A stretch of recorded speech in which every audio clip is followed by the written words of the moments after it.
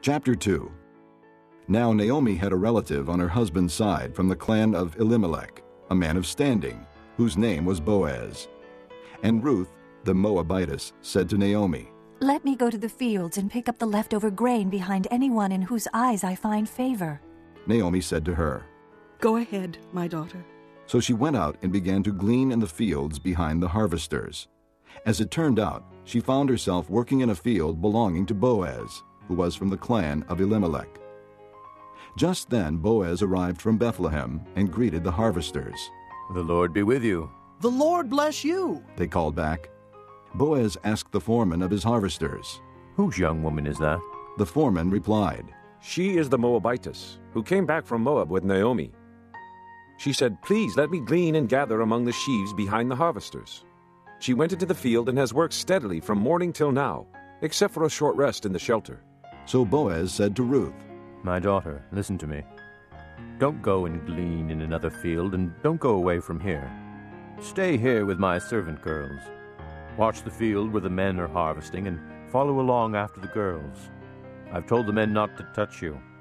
And whenever you are thirsty, go and get a drink from the water jars the men have filled. At this, she bowed down with her face to the ground. She exclaimed, Why have I found such favor in your eyes that you notice me, a foreigner? Boaz replied, I've been told all about what you have done for your mother in law since the death of your husband. How you left your father and mother and your homeland and came to live with the people you did not know before. May the Lord repay you for what you have done.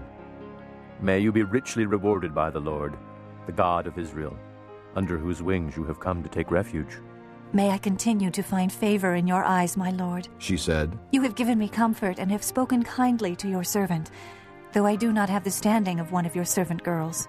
At mealtime, Boaz said to her, Come over here. Have some bread and dip it in the wine vinegar.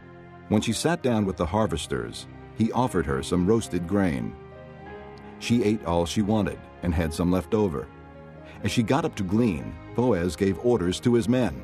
Even if she gathers among the sheaves, don't embarrass her. Rather, pull out some stalks for her from the bundles and leave them for her to pick up, and don't rebuke her. So Ruth gleaned in the field until evening. Then she threshed the barley she had gathered, and it amounted to about an ephah. She carried it back to town, and her mother in law saw how much she had gathered.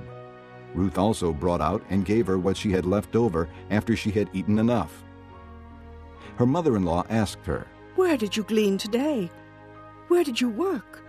Blessed be the man who took notice of you. Then Ruth told her mother in law about the one at whose place she had been working.